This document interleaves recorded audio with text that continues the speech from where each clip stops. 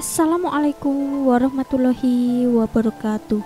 Apa kabar sahabat sejuta kisah? Mudah-mudahan kabar baik. Pada kesempatan kali ini kami akan berbagi kisah yang berjudul Momen wanita foto dengan pengantin di pelaminan. Dada dan tangannya bikin gagal fokus. Sahabat sejuta kisah, sebuah video pelaminan pasangan suami istri belum lama ini menjadi viral di media sosial.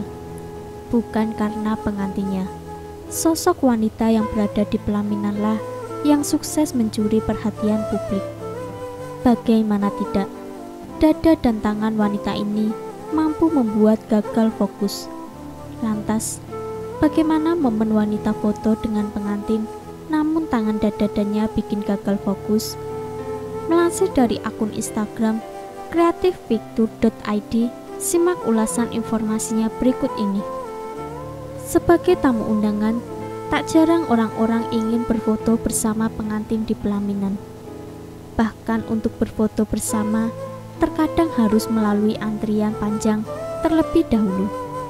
Hal itu membuktikan berfoto bersama pengantin merupakan hal yang wajar di tengah masyarakat seperti yang terlihat dalam video yang viral di media sosial ini. Tampak seorang ibu-ibu berfoto dengan pengantin di atas pelaminan. Bagaimana tidak? Ibu-ibu ini mengenakan perhiasan yang cukup banyak. Tak hanya satu atau lima.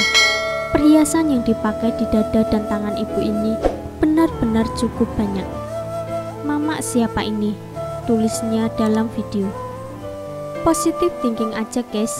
Mungkin ibunya punya toko emas. Terus itu lagi promosiin model-modelnya. Tulis akun IMN Daya. Toko emas berjalan. Tulis akun Rumiati underscore Ramadhani. Jangan lupa nantikan kisah terbaru dari kami. Sampai jumpa. Wassalamualaikum warahmatullahi wabarakatuh